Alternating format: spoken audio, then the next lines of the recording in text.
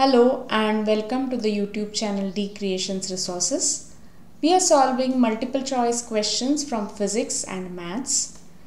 Today we are going to tackle a question which involves concepts such as arithmetic mean, geometric mean and the question is from CSIR NET exam of the year 2021. The question is the arithmetic and geometric means of two numbers are 65 and 25 respectively. What are these two numbers? And the options are option A 110 20, option B 115 15, option C 120 10 and option D 125 5. So those who know how to solve this question can pause this video, solve it, mark the correct option and then see the correct answer. Those who don't know how to solve it, you can just proceed further as it is. So here, always when you are given a question, you should first write down what is the given information and what is required. So here, what is the given information? Arithmetic mean is 65 and geometric mean is 25. And what is required? We want to find out what are these two numbers, right?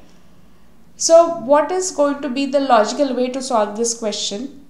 You should remember how we calculate arithmetic mean as well as geometric mean. So there is some formula. So if you know these formulae then it's going to be easy because you then just have to do some algebra, rearrange terms and you get the answer. So since we don't know these two numbers, what we can do is we can assume them and we can say that they can be x and y for example. Now we all know that arithmetic mean is basically addition of those two numbers divided by 2 when you say arithmetic mean of two numbers. So if x and y are the numbers it will be x plus y divided by 2 and it is given to be 65. So if that is 65 that means x plus y is 130. So you've got one equation here. Then what is the next information that you have? Geometric mean. How do you calculate geometric mean of two numbers x and y? It's under root xy. So now we know that under root xy is 25. That means if you square both the sides, xy is 625. So we have got the information that x plus y is 130 and x into y is 625. So you can see sum and product and that will remind you of the identity x minus y whole square is x square minus 2x plus y square and you can rewrite it as x square plus 2xy plus y square minus 4xy. Now x square plus 2xy plus y square is basically the square of the sum of two numbers that is x plus y whole square minus 4xy. Now we have purposely written it in this manner because we already have the information about what x plus y is and xy is. So x minus y whole square can be written as x plus y which is 130 square minus 4 into xy which is 625. So x minus y whole square is equal to 130 whole square minus 4 into 625. Now, if you remember squares, I would suggest that it's always good to remember squares at least up to 25. So, 13 square is 169. So, 130 whole square is going to be 16900, 16,900 minus 4 into 625. Now, 625 2 is 1250, 1250 2 is 2500.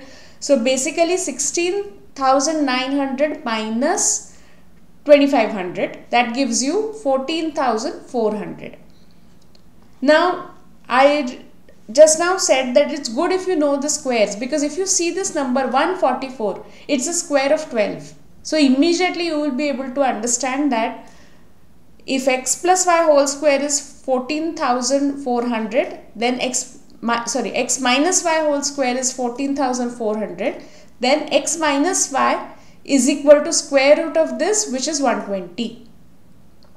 So now you have two equations. Equation 1 is x plus y is equal to 130. Equation 2 is x minus y is equal to 120.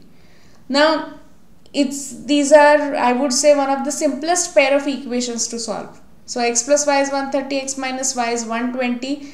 if you add equation 1 and 2 y and minus y will cancel out so you will get 2x is equal to 250 or in other words x is equal to 125 and once you know x again going back to equation 1 x, if x is 125 that means y has to be 5 so now when you revisit the question and the options you can see that the option 125 and 5 is basically the option D. So the correct answer here is option D 125 5. So you can see that it was such a simple question and it involved algebra which you've been doing since your school days. So uh, if you get such questions you should solve it quickly and save your time. Okay. Alright. Thanks.